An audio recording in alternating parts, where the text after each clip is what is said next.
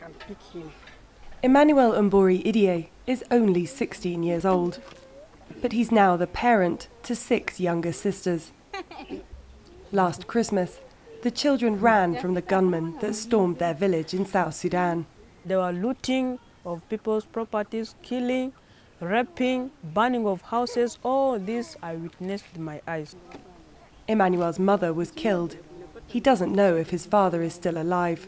As I'm speaking now, I, I can feel like crying, but as I'm a man, I cannot cry because my mother was shot during that crisis, and my father has left us to come here and went back. We don't know where he is now.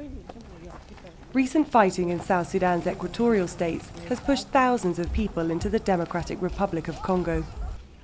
In Dungu, refugee children have been taken in by strangers. But Emmanuel speaks of boys back home who were abducted to be soldiers. His sister Victoria tells of friends taken as wives and slaves. These guys in the bush, they came arresting girls, going with them to the bush. And if they arrest you, you go there cooking for them, they turn you as your wife. And if you refuse to do such, they will shoot you dead. UNHCR and the Congolese authorities are registering new refugees here.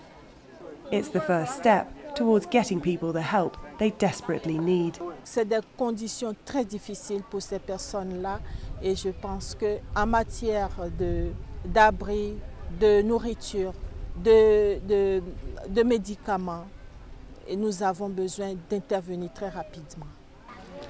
These children have little hope of going home soon.